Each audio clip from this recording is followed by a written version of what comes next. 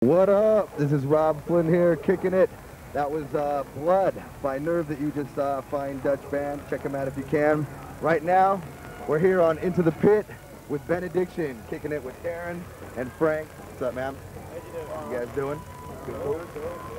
Um, we're kicking it here. We're all playing on a festival today. Machine Head, Benediction, Sick of It All, Madball, a bunch of other bands, My Dying Bride and stuff. And um, we know you just guys just got a new drummer, 18-year-old Neil Hutton. Uh, how's he working out? Like, did he have any like influences on the record or anything like that? Yeah, he's had a lot of influence because uh, we grew up with the death metal sort of scene, and uh, he's obviously 18 now. He's into all the, the hardcore and everything else that's coming through since we started, and he's just he's added that little bit of input which we, we wouldn't have seen otherwise. You know, just a little bit of extra. Did good. Yeah. How's having an 18-year-old guy in the band doing? Cool. It's all right. Makes me feel incredibly old. Yeah!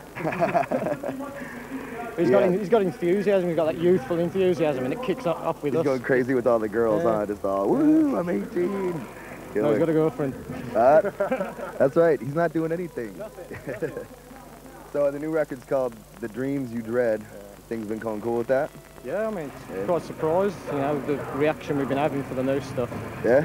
No, nobody's heard it yet, but look, the kickback off it's really good, really Cool. enthusiastic. It comes out soon. Comes out Monday, the this Monday. This- tomorrow. So check it out. Right now, uh, we're gonna take you back to the uh, Nuclear Blast Festival. These guys headlined. Was that pretty awesome? Yeah. You guys have a good time? Yeah, really That was like uh, Meshuggah and Hypocrisy and all that, right? Yeah. Meshuggah. Meshuggah. Yeah, fuck, an amazing band, man. That None EP was like, the first time we heard that, we were just like, yeah, Thomas, he is an amazing drummer. Well, check it out. Here they are doing that.